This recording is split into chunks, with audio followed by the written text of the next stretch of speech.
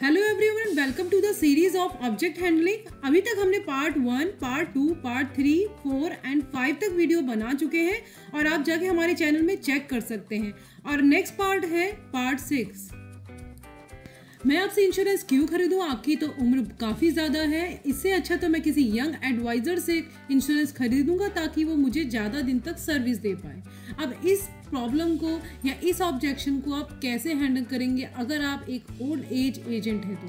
तो आप इसे कैसे हैंडल करेंगे? तो आप कहेंगे, सर, आप तो बहुत एक्सपीरियंस वाले दिखते हैं। तो आप ऐसे डिसीज़न कैसे ले सकते हैं? ज़ाहिर सी बात है, जो नया एडवाइज़र होगा, उसको इतना एक्सपीरियंस ही नहीं होगा। और वो अभी बिज़नेस सीख ही रहा होगा और वो आपकी ज़रूरत के हिसाब से सही पॉलिसी भी नहीं दे पाएगा। क्योंकि इस बिज़नेस में मैं कई सालों से हूँ, मैंने कई हर उम्र के लोगों को बीमा दिया है, इसलिए मैं उन नए एडवाइज़र के कंपैरिजन में आपकी रिक्वायरमेंट के हिसाब से आपको बेटर चॉइस दे सकता हूँ। आप मुझे एक बात बताइए कि अगर किसी को हार्ट अटैक हो जाए तो वो कहाँ जाएगा? सिटी के बेस्ट हॉस्पिटल में या किसी मेडिकल स्टूडेंट्स के पास जाएगा।